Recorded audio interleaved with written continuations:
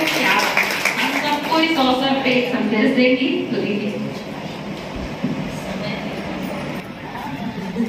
आप सभी को नमस्कार। और रंजू जी नंदलाल जी और लोक चेतना समिति से जुड़े हुए सभी मित्रों का बहुत सारे चेहरे हैं जो बार बार मिलते रहते हैं बार बार जिनसे मिलते हैं और यहाँ आना निश्चित रूप से घर आने जैसा ही है लगने का है किसी नई जगह आ रही हूँ। और पहली बार कहीं आ रही हूँ। हालाँकि बनारस के दूसरे कोने से आज दीपावली से एक दिन पहले यहाँ तक आ पाना बहुत आसान तो नहीं था। पर रंजू जी नंदलाल भैया लोक चेतना समिति इन लोगों के बड़े सारे कर्जे हैं हमारे ऊपर। और उन कर्जों को उतारने के लिए यहाँ तक आना पड़ता था।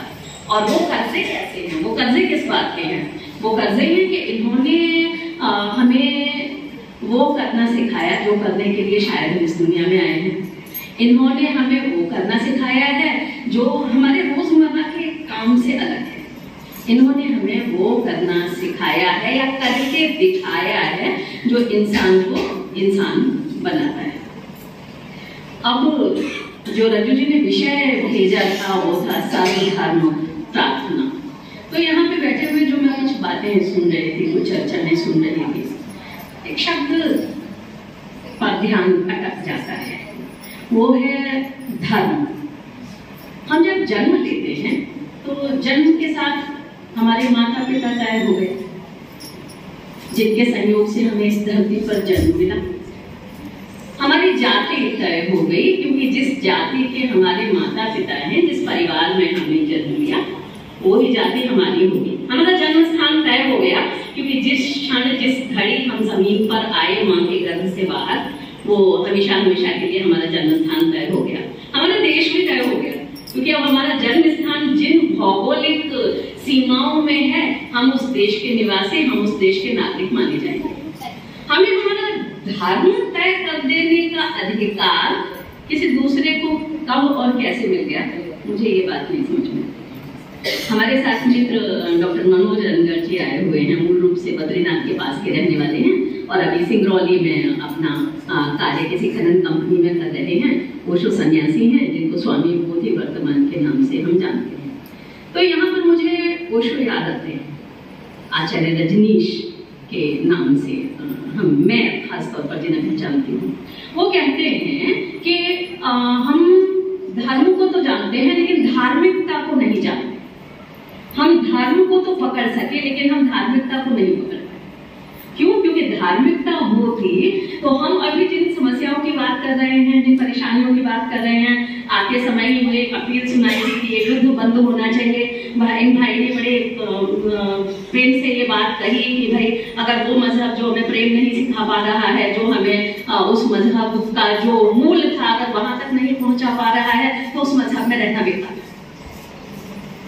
अगर हमने धार्मिकता सीखी होती तो हर धर्म के जो मूल तत्व थे, वो तो कहीं कुछ अलग नहीं है। जैसे पड़ोसी भूखा न रह जाए, पड़ोसी भूखा रह गया और अगर हमारा पेट भर गया तो क्या ये हमारे इंसान होने की पहचान है? वसुधैव कुटुंबकम की हम बात करते हैं। सब हमारे हैं, हम उनकी बात करते हैं। भवतु सब मंगलम की बात हम बुद्ध धर्म में करते हैं। और ये सब अगर नहीं हो पाया तो इसकी वजह क्या है?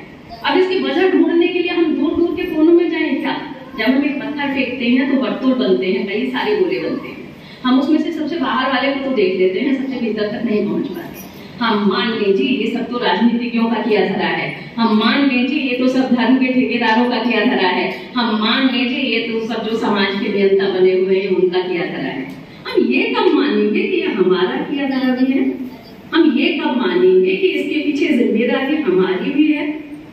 रक्त संबंध होने के नाते ये डीएनए एक होने के नाते हमारे परिवार का बच्चा हमसे जुड़ तो गया, लेकिन तुम्हारा धर्म यही होगा, ये सिखाने वाले हम कौन हो मैं उस दिन की प्रतीक्षा करूँगी, मैं ऐसे समाज का इंतज़ार करूँगी, मैं उन स्थितियों का इंतज़ार करूँगी, जहाँ एक बच्चे के जन्म के बाद धीरे धीरे धीरे धीरे वो हर धर्म से परिचित होता जाए, सुपरिचित होता जाए, हर धर्म की अच्छाइयों, बुराइयों से वाकिफ होता जाए, हर धर्म के तक पहुँच जाए, हर धर्म की मूल अवधारणाओं से परिचित हो जाए और जब वो समझदार हो जाए और फिर वो हमारे सामने आके कहे कि मैं चाहता हूँ या मैं चाहती हूँ कि मेरा धर्म ये होना चाहिए।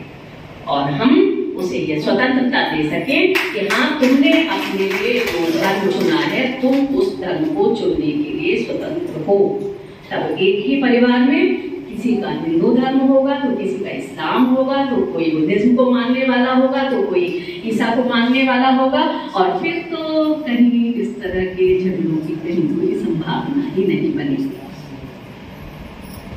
तो इसी बात के साथ, जावेद अख्तर साहब की दो लाइनें मुझे याद आती हैं कि वो कहते हैं, आओ चलकर सूरज ढूंढे। अब अंधेरे से लड़ने के लिए तो रोशनी की ज़रूरत पड़ेगी ना। आओ चलकर सूरज ढूंढे।